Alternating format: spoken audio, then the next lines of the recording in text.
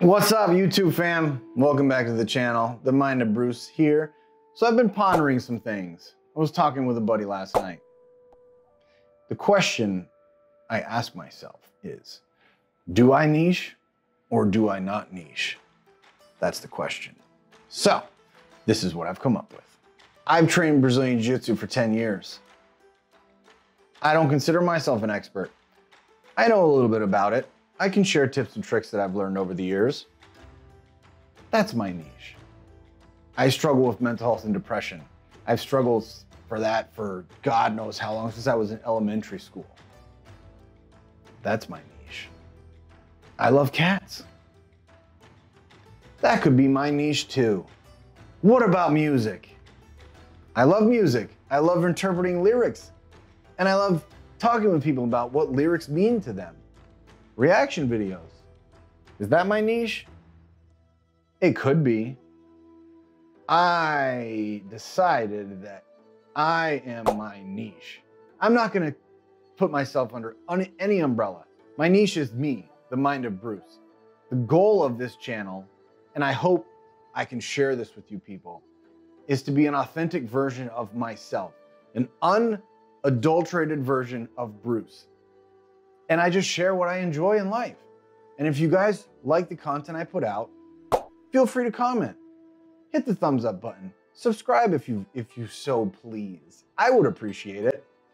But my goal of this channel is to share various topics in which I like, which is jujitsu, cat videos, music, mental health and depression. I struggle with it. So I'm going to share what I use to alleviate said symptoms. The only niche that I am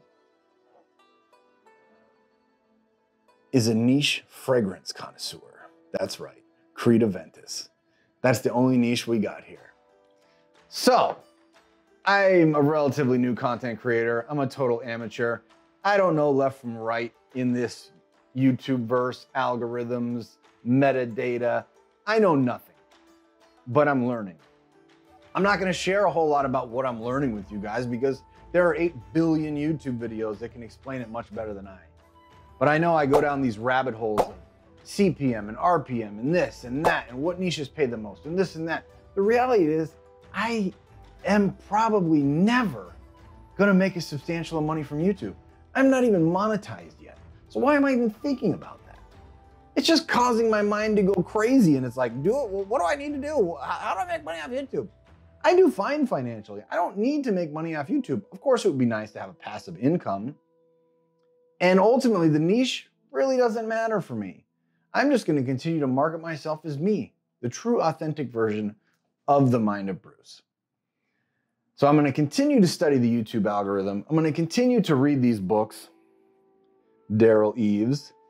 I took the top off because it's a pain in the butt and gets in my way. So do I niche or do I not niche? I'm probably going to go with not a niche. I'm just going to post content and hopefully get across to some people. That's my goal in life, is to use the knowledge I've gained over the years of my existence as a human being and hopefully able to help somebody else. You know, I'm going to be a voice for all my friends that are dead, that are no longer here. That begs the question, like we said. Do I niche or do I not niche? I niche, but the niche is me, the mind of Bruce. I just wanted to do a quick video and test out this new Sony camera I got. The quality seems much better than my previous camera. So let's enjoy the ride together. Let's go on the journey.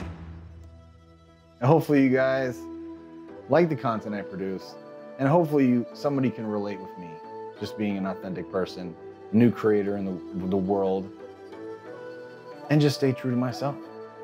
That's the goal in life to live a happy existence.